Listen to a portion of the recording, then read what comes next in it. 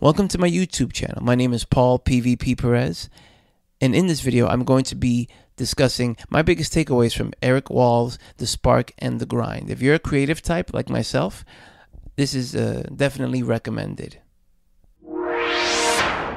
These are my biggest takeaways from Erik Wahl's book, The Spark and The Grind. When Erik Wahl was promoting his book, he was on an episode of Gary Vee's podcast. Mr. Wahl passionately discussed his struggle to get to this creative point in his life. It was also Mr. Vaynerchuk's personal interview style which drew me to the book. I put the book on my Amazon wishlist and it stayed there for a while.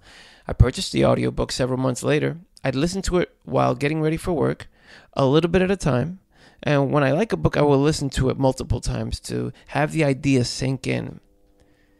These are four of my biggest takeaways from this wonderful book.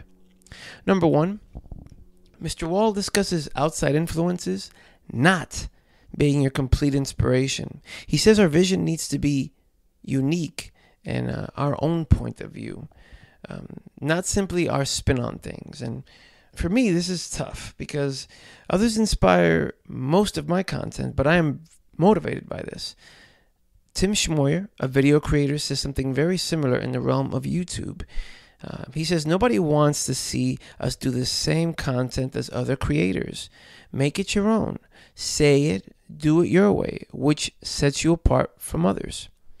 Now, in Mark Manson's book Models, which I did a biggest takeaways to, and I'll leave a link to in the show notes for this episode, he says that when it comes to dating, he encourages to be polarizing. He gives a story um, about a guy who says like a graphic thing to women, and they either turned away by him or they actually are attracted to him because of this weird sense of humor. Is um, the uh, example that he gives in the book. But um, he encourages being polarizing because you're being your true self and not doing the same nice guy things as all the other guys are doing. So I found that very interesting. So putting your own spin on things. No, not putting your own spin on things, putting it out your own way in your own voice. Okay. Uh, now, this isn't easy and it requires work, but imagine the particular content that can be produced, the unique content. So that's exciting.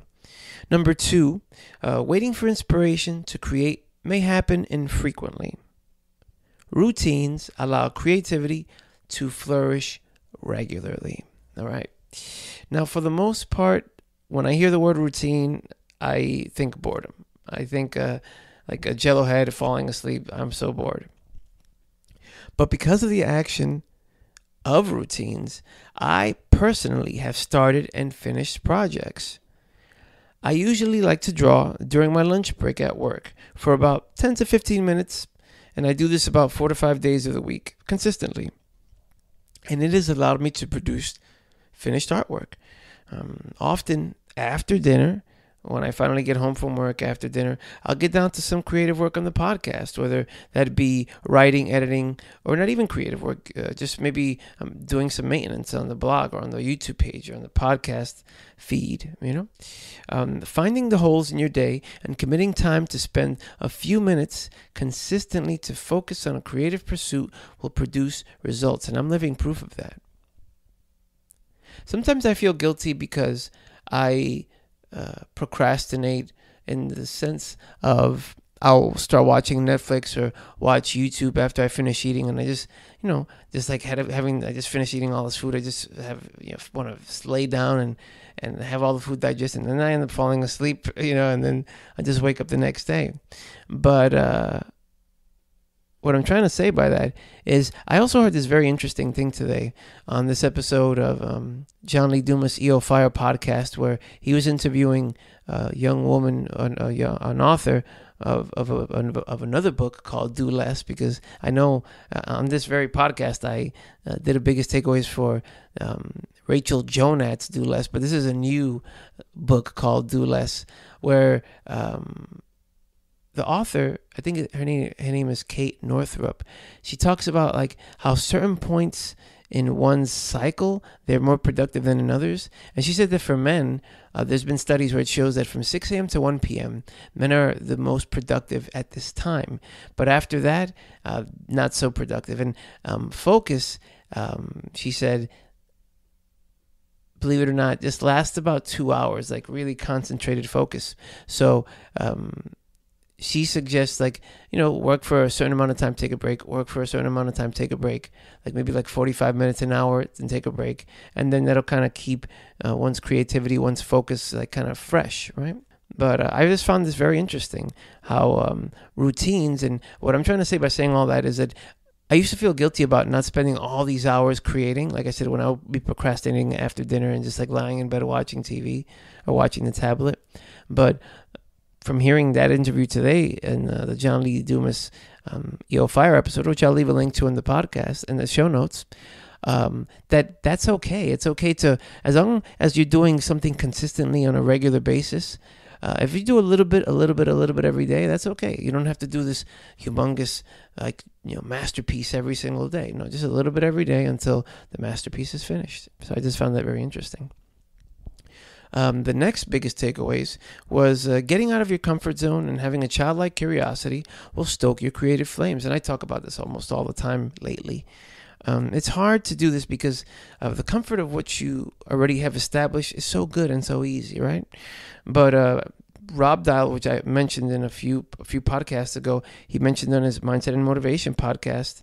He said something which has stayed with me, which I've put up on my wall. And this is to grow, you must do the uncomfortable thing, the thing you don't want to do. And at first, uh, I am resistant when going down this route. But when I commit and I get it done, I feel so glad that I did afterwards. So I encourage you to do the same.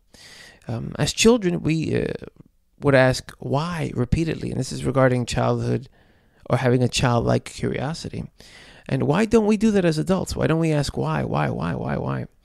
Um, Tony Robbins says um, that a basic human need is variety. He has this six human needs, and one of them is variety. And having a childlike curiosity as an adult will bring a diversity of knowledge and make life even more interesting. Now, the final uh, takeaway from uh, Erik Wahl's Spark and the Grind book was having a job makes it easy to be creative. Now, I used to demonize personally having a job. I see these entrepreneurs on YouTube and I say, I want to be like them. And I still have that thing where I, it's a big thing I have to work on where I see people on YouTube and I'm like, I want to be like that. I want to do that.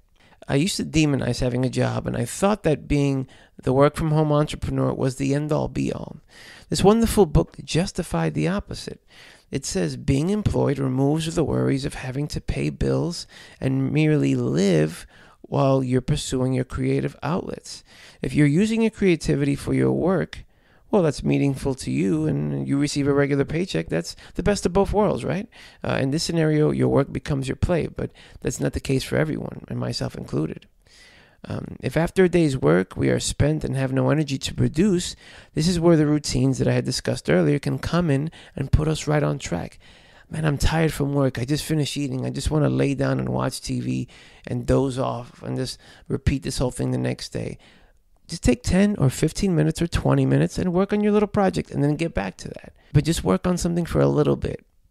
And by the time you know it, in five or 10 days, that thing will be a bigger thing. It'll be something that's taking shape. So uh, you won't go to sleep with guilty feelings about not producing something.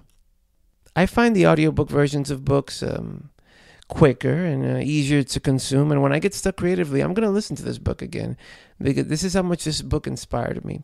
And I'm so grateful that Mr. Walt put out this book. And I recommend this book to you. Did you like my takeaways? If you did, I have another video coming up next, which is the power of habit. My biggest takeaways from Charles Duhigg's book, The Power of Habit. Check that out next.